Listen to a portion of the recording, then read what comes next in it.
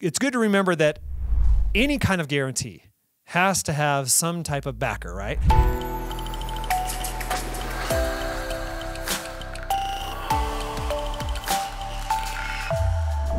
Hi there, John Stevenson here, the Guaranteed Retirement Guy, and I want to talk to you today about the guarantee associations for insurance companies. So, insurance companies um, are safe, and I preach that they're safe, and it's it's a well-known fact that they are one of the safest uh, things to uh, put your money in as far as annuities, life insurance, uh, health insurance um, lots of different insurances. And the reason why annuities, to me, are one of the safest because these insurance companies are so heavily regulated that they are required to have dollar for dollar. You put in a hundred grand, they're required to have a hundred grand. Okay, if they are giving, if they're providing benefits of three hundred thousand dollars to you, they're required to have three hundred thousand dollars. Much, much different than a bank. A bank, you put 100 grand in, they're going to immediately lend out $90,000 and keep 10 grand in there. Okay. Uh, the State Guaranty Association does not allow insurance companies to do that. Okay, they're they are heavily heavily regulated. So these associations they're in every single state, and I would say uh, pretty much without any exception, every single insurance company has to be a member. Okay, and basically what happens is is if an insurance company starts having financial difficulties. Okay.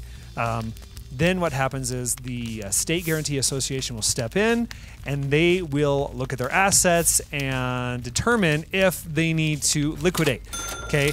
Now, of course, they're going to try to, you know, keep that from happening, but in some cases that needs to happen. There are also uh, other insurance companies that will step in and take over as well, if possible, because uh, those are some pretty substantial assets. Um, but the thing to remember with with the uh, state guarantee associations is the fact that they assess all of the insurance companies, and so what they do is if for some reason an insurance company fails, they're going to take all of that insurance company's assets, liquidate it, and give it all back to the policyholders and make them whole.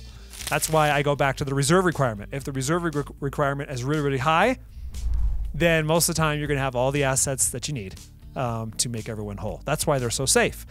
But here's here's the extra um, layer of protection that, that I really like is the fact that uh, the insurance the, the state guarantee association they will actually assess other insurance companies for the amount that they need to cover those claims. So if if for some reason they liquidate the assets of the insurance company and they don't have enough, then they'll just assess the rest of the insurance companies to get the money that they need to pay back the policyholders. So pretty cool.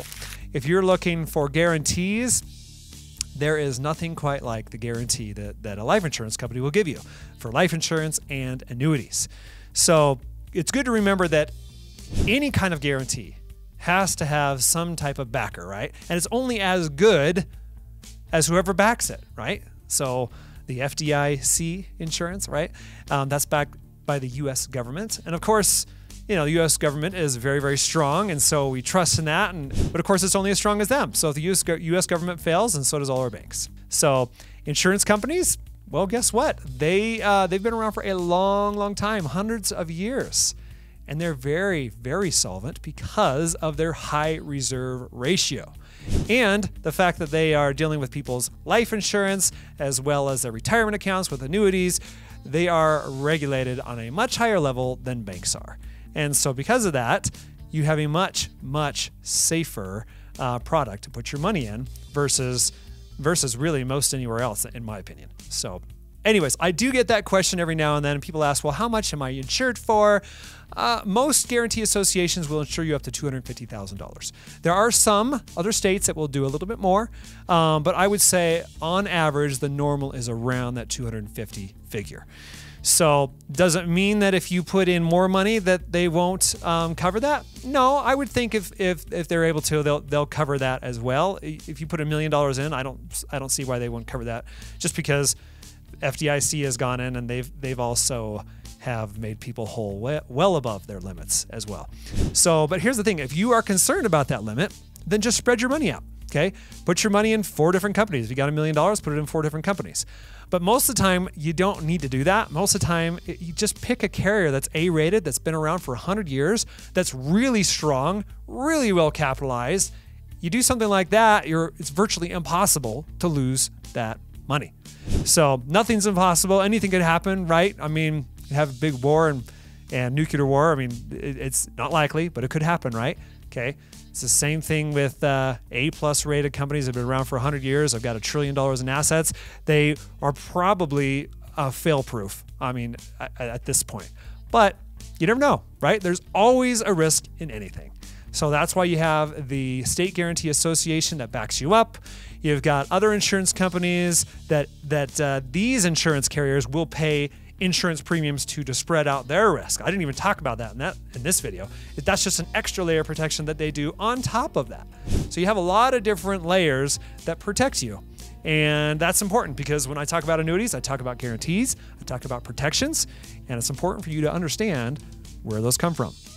All right, so I hope this video was helpful. If it was, please like, uh, share, subscribe. And, uh, and if you want to chat about your situation, you want to talk about annuities for your portfolio, then book a call.